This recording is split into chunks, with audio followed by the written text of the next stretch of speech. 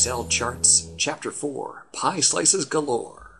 Hey, welcome back to the Mr. Excel Netcast. I'm Bill Jelen. Well, you know, a lot of pie charts that you see, they're real nice. They have three, four, five slices and everything works out great. But in real life, you know, you just there's some products that are high flyers, other products that, you know, they're, they're backlist, they're old, we still keep them around, they sell a few, but not enough. And so here's here's a, a pie chart. Uh, four items really matter. The rest of the stuff is just tiny little things that no one can really make a lot of sense out of. Uh, so I'm going to change this chart type. There's six different pie charts to choose from, uh, and I'm interested here in either something called the pie of pie or the bar of pie. And I'll choose bar of pie in this particular case. Choose OK. And you see what happens is Excel decides to keep some of the slices in the major pie and then move other slices out to the secondary axis. Now, I, am not sure what the default is here, but I never like it. So I'm going to right click and choose format.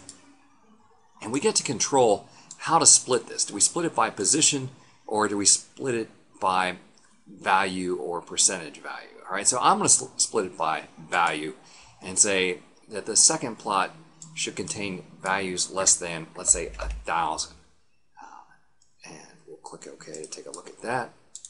Click close. Okay, so now we have four major items in the pie, and then the all other is all of the items less than a thousand. Now you have to decide in your data set what makes the most sense. And then the next thing is, are we really interested in the four items or are we interested in the other? Uh, we have a few settings here. So again, I'm going to go back into Format Data Series and we'll take a look at this pie explosion gap width and secondary plot size.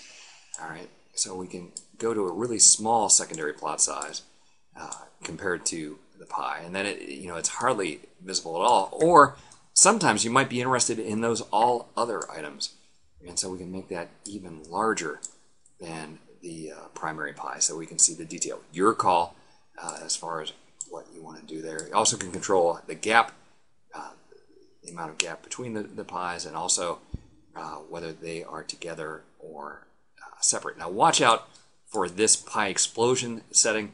It is not zero.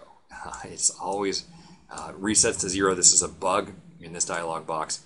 Uh, so if I set that to 76, when I come back in uh, later, it is going to...